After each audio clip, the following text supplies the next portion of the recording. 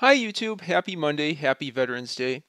It's taken quite a while, but I finally figured out how to transfer files to and from my Linux machines using a library called Cahute.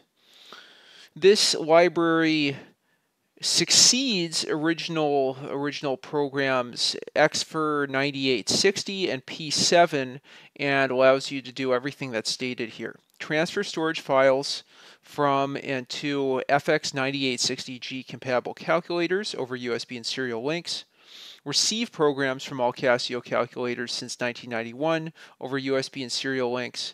Convert between character encodings. This is really cool. Screen, stream screens, screen streaming from FX9860G, FXCG, and compatible calculators over USB links. This means I can do a demo on the calculator and record the screen in real time. Super, super cool. Uh, you know, direct screen capture, and that'll be very, very cool to try doing within OBS Studio at some point in the future flashing FX9860G uh, compatible using the FX remote method. I guess I could uh, update the firmware using that method then. The project is maintained by Thomas Touhey, who is in the UK, I guess originally from France. You can find the project at https colon slash slash cahuteproject.org slash um, index.html, and it's talked about multiple different places. Let me just go ahead. Um, I installed Cahute through, well, I didn't actually install Cahute. I built it from source, which wasn't all that difficult. There's some directions here that I followed pretty quickly. And what I'll just do is show you how you can get info about your graphing calculator and transfer one file that I have on flash storage. I've been able to transfer back and forth between flash storage, but I haven't succeeded with transferring to RAM. And that file I'm going to transfer is that NQueen's benchmark that I've just named benchmar.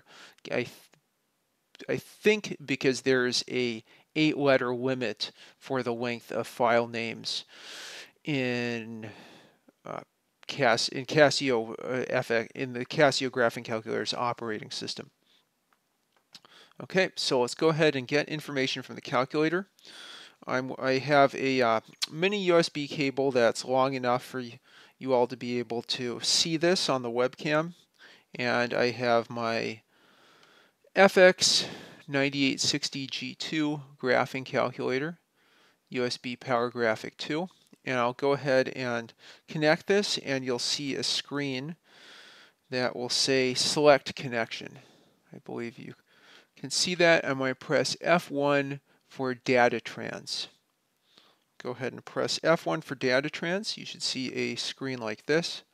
Let me move my um, move my webcam a little bit so you can see that better. And right now nothing's going to happen up until I pull up my prompt and I do sudo dot slash p7 info. There's also the Xfer 9860 utility that's a little less advanced. And there we go, a bunch of information uh, about the calculator, and you should see complete press exit on the screen. Each time you want to re receive or transfer, you have to go back and press um, I think pretty much all these are in receive mode, so you have to press the appropriate function key for receive. Okay. okay. Maybe I should tip that a little bit. Yeah, so I'll go ahead and press receive again. That's F2. And now what I'll do on the screen, the Linux machine screen, is do uh, sudo.p7 just help really quick to make sure I remember it and get the subcommand for getting a file from the calculator. So I'll do sudo dot slash p7 get uh, benchmar dot g1m. This is a file that I've copied to the flash memory from RAM. And boom, that's complete. Let's go ahead and do LSLA here. And we have at uh, 11:27 p.m. benchmar.g1m copied over. I'll go ahead and get myself in view instead of the calculator and press exit here and then menu.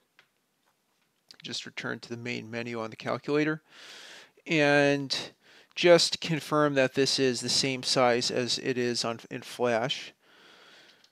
It's not really helpful, but it's you know nice to see some something that looks close to what I had stored on the calculator when I just cat benchmark.g1m. I'm going to go ahead and make sure that the size is appropriate here by going into the memory manager. Wait, let me exit there. Menu. Going to, oops, uh, let me turn that again. Going to um, memory in the main menu after pressing menu. And if I look at, um, press F2 to look at storage memory, voila, benchmar.g1m is 248 bytes, exactly as it is on the computer. So I've done a successful file transfer, and that's my first demo of P7 and Xfer 9860. Xfer 9860 is not. I, I could try try this, but it's, it's not all that different from from P7. It just doesn't give quite as infor, as much information in the um, information field but that's that's pretty much it. It's it's um, not all that um, complicated. Let me go ahead and just since we have a little time here, show you Xfer 9860 uh, download. Let's do sudo for Very easy to get files back and forth here. What I'll do in a future demo is copy CBasic, which is an, an enhanced Casio Basic over to this calculator using P7 and then after that I'll do a demo of CBasic and show just the IDE and menus there and then maybe some sample programs within within Casio Basic. Also, I'm really excited about the potential to do a screen capture using, I, am not sure if it was um, P7, let me check really quick here what the application was. P7 screen. There we go. So let's do Xfer 9860 D file name. Let's see, uh, bench mar.g1m bench mar copy.g1m. Put this again in to receive mode just show you that again. That's in receive mode. And press enter. And it looks like that was successful.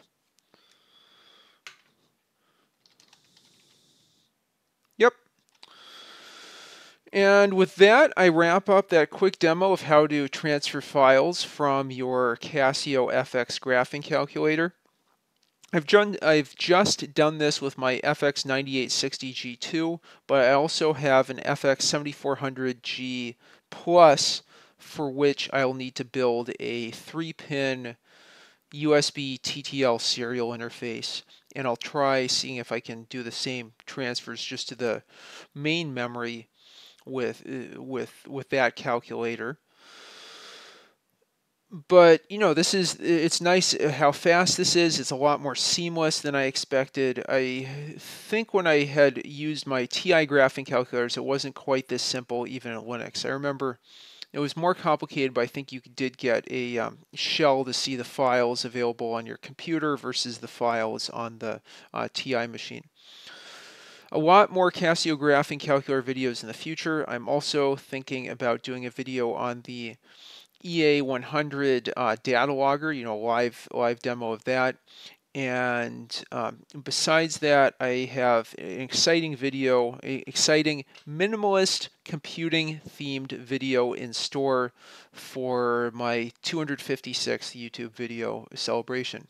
And with that, I appreciate your attention. Please like and subscribe as always. Leave your thoughts in the comments down below and have a great one. All right.